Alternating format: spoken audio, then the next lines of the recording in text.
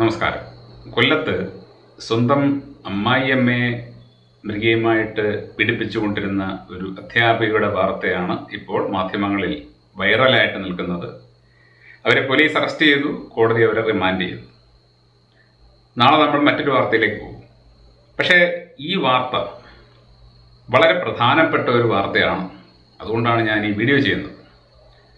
ഒന്നോ രണ്ടോ വർഷങ്ങൾക്ക് മുമ്പ് സമാനമായ കാര്യത്തിൽ ഞാനൊരു വീഡിയോ ചെയ്തിരുന്നു. അതിലേക്ക് പോകുന്നതിന് മുമ്പ് നമ്മൾ ഈ സ്ത്രീയുടെ കാര്യമെടുത്ത് ഇവരെന്തുകൊണ്ട് ഇങ്ങനെയൊക്കെ ചെയ്തു? എന്താണ് അവരിങ്ങനെ ചെയ്യാനുള്ള കാരണം? എന്നൊന്ന് പരിശോധിച്ചാൽ കാരണം വളരെ ലളിതമാണ്. അവരുടെ ഭർത്താവ് തന്നെ. ഭർത്താവ് ഒരു പുരുഷൻ ആയിരുന്നു എങ്കിൽ അതായത് ഈ സ്ത്രീയുടെ ഭർത്താവ് ഒരു പുരുഷനായിരുന്നുവെങ്കിൽ അവരൊരിക്കലും ഇത് ചെയ്യില്ല. പഴയ കാലത്തെ കർണന്മാർ പറയും കല്യാണം കഴിക്കാൻ പോകുന്ന പുരുഷൻ കല്യാണം കഴിക്കാൻ പോകുന്ന സ്ത്രീ. ഇവർ രണ്ടുപേരും കുടുംബം നോക്കാൻ അറിയാവുന്നവരായിരിക്കണം. അതും കടന്ന് പഴയ കാലത്ത് എന്റെ ചെറുപ്പകാലത്ത് തന്നെ ഞാൻ ചില പെൺകുട്ടികൾ തന്നെ പറയുന്നത് കേട്ടിട്ടുണ്ട്.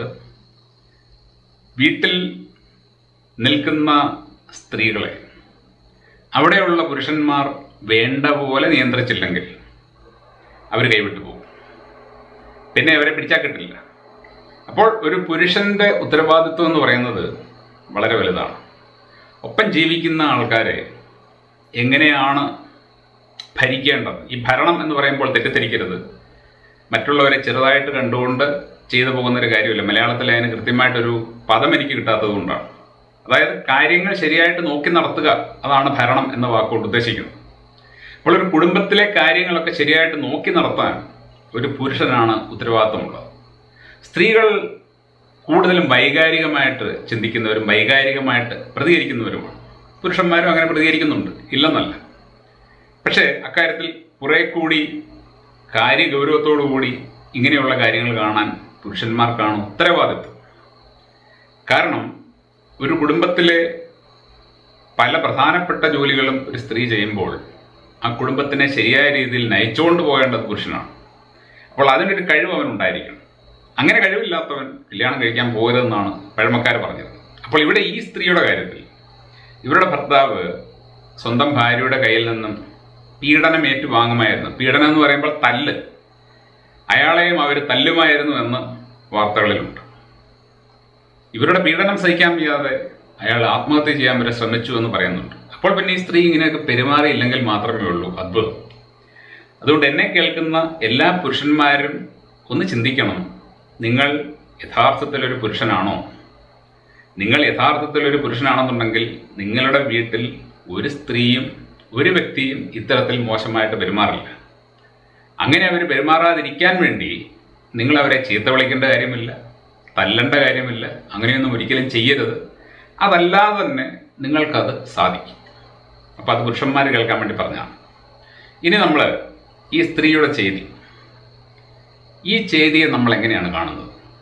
നമ്മളെ സംബന്ധിച്ച് ഇപ്പോൾ ഇത് ഒരു സംഭവം ഉണ്ടായ ഒരു വാർത്ത വന്ന് നമ്മളെല്ലാവരും ആഘോഷിക്കുന്നു. നാളെ നമ്മളിത് മറന്നുപോകും. എന്നാൽ കേരളത്തിലെ മുഴുവൻ വീടുകളിലും നമ്മളൊരു സർവേ നടത്തിയാൽ ഇത്തരത്തിലോ ഇതിനൊരൽപ്പം മുമ്പോട്ടോ താഴോട്ടോ നിൽക്കുന്ന തരത്തിലുള്ള സംഭവങ്ങൾ കുറഞ്ഞത് അമ്പതിൽ ഒരു വീടില്ലെങ്കിലും നടക്കുന്നുണ്ട്.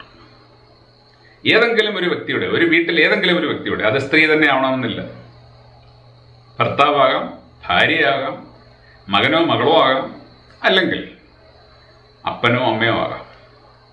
ഏതെങ്കിലും ഒരു വ്യക്തി ആ ഒരു വ്യക്തിയുടെ പെരുമാറ്റ വൈകല്യം മൂലം നരകതുല്യമായിട്ട് ജീവിതം തള്ളി നീക്കുന്ന ഒരുപാട് വീടുകൾ നമ്മുടെ നാട്ടിലുണ്ട്. ഇതിപ്പോൾ എങ്ങനെ വാർത്തയായതുകൊണ്ട് നമ്മൾ അറിഞ്ഞു. വർഷങ്ങളായിട്ട് ഈ അമ്മയെ ആ സ്ത്രീ പീഡിപ്പിക്കുന്നുണ്ടായിരുന്നു എന്നാണ് പറയുന്നത്. ഇതേപോലെ പീഡനം ഏറ്റുവാങ്ങി ജീവിക്കുന്ന ഒരുപാട് മനുഷ്യർ. അതിന് ലിംഗഭേദമോ പ്രായഭേദമോ ഇല്ല. കൊച്ചുകുട്ടികൾ പീഡനം അനുഭവിക്കുന്നുണ്ട് വിവരമില്ലാത്ത മാതാപിതാക്കളിൽ നിന്ന്.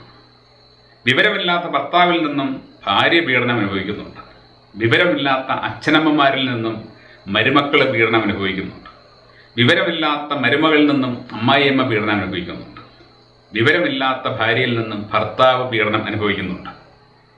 ഏതെങ്കിലും ഒരു വ്യക്തി മതി. ഒരു വീട്ടിൽ ഒരു വ്യക്തി മതി ആ വീടിന്റെ സമാധാനം കളയാൻ അതുകൊണ്ട് എന്നെ കേൾക്കാൻ നിങ്ങൾ എല്ലാവരും തിരിച്ചറിയണം. ഈ ലോകത്തിലേക്കും ഏറ്റവും വലിയ നീചകർമ്മം ഏതാണെന്ന് ചോദിച്ചാൽ നമ്മുടെ മനസ്സിലേക്ക് പെട്ടെന്ന് വരുന്നത് വേറെ ചില കാര്യങ്ങളാണ്.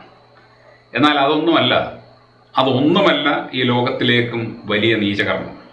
ഈ ലോകത്തിലേക്കും വലിയ നീചകർമ്മം എന്ന് പറയുന്നത് ഒരു വീട്ടിൽ ഒപ്പം താമസിക്കുന്ന ആൾക്കാർക്ക് സമാധാനം നൽകാത്ത പ്രവൃത്തിയാണ്.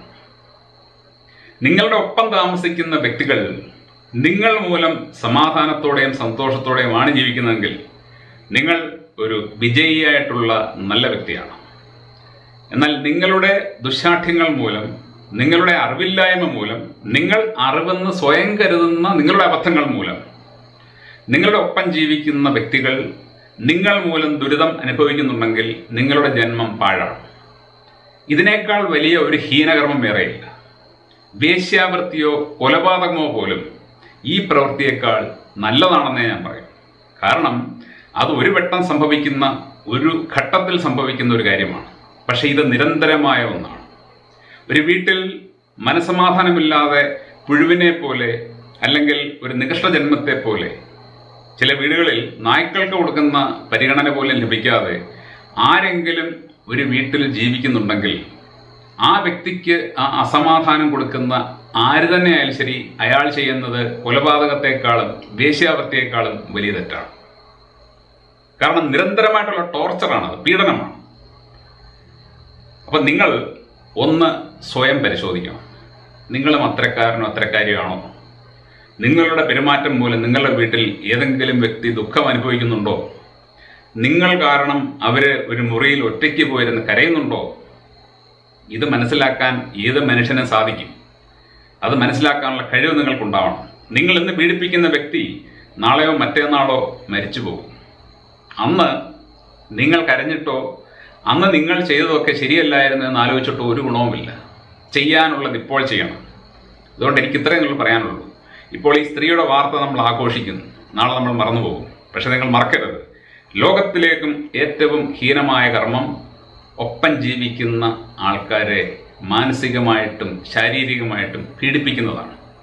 നമ്മുടെ ഒപ്പം ജീവിക്കുന്ന ആൾക്കാരെ സന്തോഷത്തോടെ ഇരുത്താൻ നമുക്ക് സാധിക്കുന്നില്ലെങ്കിൽ നമ്മുടെ ജീവിതം കൊണ്ട് ഒരർത്ഥവുമില്ല നമ്മുടെ ഒപ്പം ജീവിക്കുന്ന ആൾക്കാരെ സന്തോഷത്തോടെ ഇരുത്തണമെന്ന് പറയുമ്പോൾ എപ്പോഴും അവർക്ക് നല്ല കാര്യങ്ങൾ ചെയ്തു കൊടുക്കണമെന്നോ എപ്പോഴും അവരോട് മധുരമായിട്ട് സംസാരിക്കണമെന്നോ അല്ല.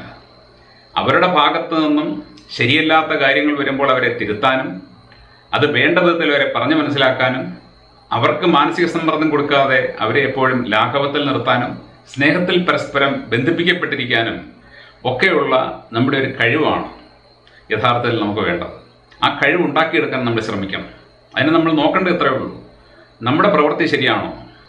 ശ്രീനാരായണ ഗുരു പണ്ടൊരു കണ്ണാടി സ്ഥാപിച്ച് എവിടെയോ വെച്ചപ്പോൾ ആൾക്കാർ എന്നിട്ട് മുമ്പിൽ നിന്നുകൊണ്ട് മുടി ചെയ്യുകയും പൗഡർ ഇടുകയും ഒക്കെ ചെയ്യുമായിരുന്നു ഞാൻ കേട്ടിട്ടുണ്ട്. അദ്ദേഹം കണ്ണാടി അവിടെ വെച്ചത് നിങ്ങൾ ആദ്യം നിങ്ങളെ കാണണം പിന്നെ വേണം മറ്റുള്ളവരെ കാണാൻ. ആദ്യം നമ്മൾ നമ്മളെയാണ് കാണേണ്ടത്. നമ്മളെങ്ങനെയുണ്ട് നമ്മുടെ പ്രവൃത്തി എങ്ങനെയുണ്ട്?